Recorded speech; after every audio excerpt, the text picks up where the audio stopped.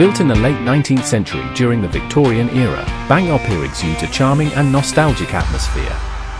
Its architectural style and design reflect the elegance and craftsmanship of that era, making it a captivating site for history enthusiasts. At intervals along the length of the pier deck, you will see pretty little Victorian kiosks, and at the end of the pier a fantastic cafe.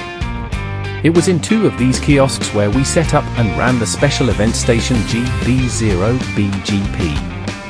The aim of the special event station, and indeed all special event stations is to make contacts both locally and around the world to promote, celebrate, or commemorate an event, or venue.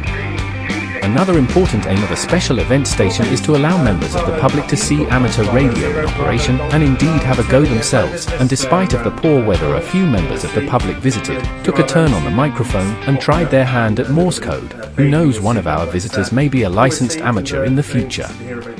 During the day club members worked over 100 stations on HF40 and 20 meters SSB, CW Morse and VHF 2 meters FM. We made 40 meter SSB contacts around the UK, Finland, Austria, Belgium, France, Netherlands, 20 meter SSB around Europe.